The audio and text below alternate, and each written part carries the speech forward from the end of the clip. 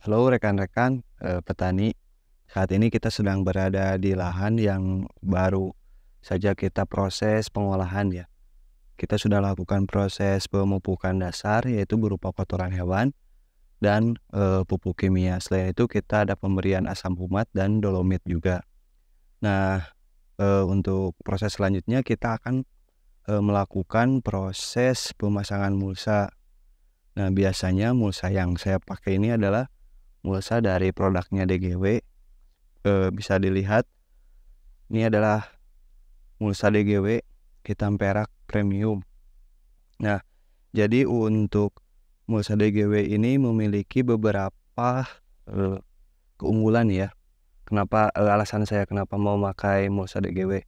Yang pertama si warnanya ini ini warna perak terang ya.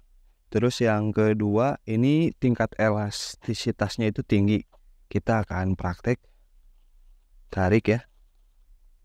Nah tuh. Jadi posisi musanya ini plastik musanya ini itu sangat elastis ya.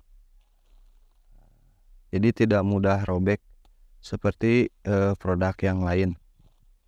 Nah selain itu untuk kualitasnya ini eh, plastik musa seperti apa pengalaman saya yang sudah di lapangan plastik mulsa DGW ini bisa tahan 1 sampai 2 tahun bahkan kalau di sini itu e, 2 tahun lebih dengan catatan kita jangan terlalu e, tarik saat jangan terlalu kencang saat menariknya gitu. Untuk mulsa DGW ini sendiri terdapat e, tiga warna ya, tiga jenis varian.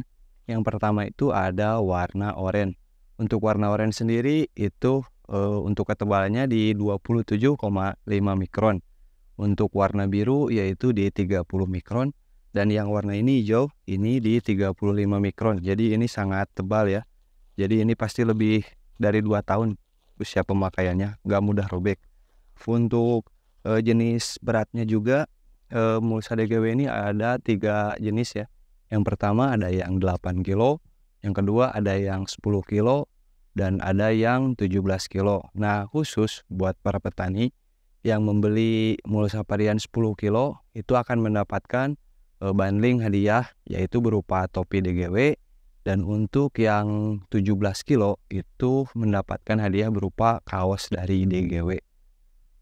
Kurang lebih seperti itu review produk DGW mulsa ya untuk plastik mulsa dari DGW.